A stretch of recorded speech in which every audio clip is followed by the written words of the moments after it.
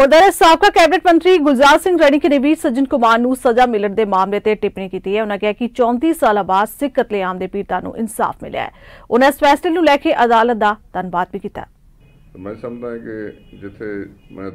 Court ਦਾ ਧੰਨਵਾਦ ਕਰਨਾ ਬਹੁਤ ਵਧੀਆ ਉਹਨਾਂ ਫੈਸਲਾ ਜੱਜ ਸਾਹਿਬ ਨੇ ਲਿਆ ਉੱਥੇ।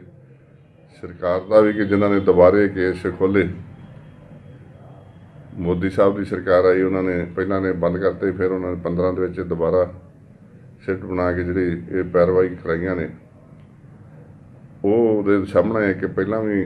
ਇੱਕ ਨੂੰ ਫਾਂਸੀ ਹੋਈ ਹੈ ਇੱਕ ਨੂੰ ਉਮਰ ਕੈਦ ਹੋਈ ਹੈ ਤੇ ਆ ਦੂਜਾ ਕੇਸ ਇਹ ਆ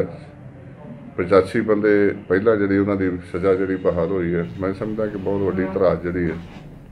ਹੁਣ ਮਿਲਣੀ ਸ਼ੁਰੂ ਹੋਈ ਹੈ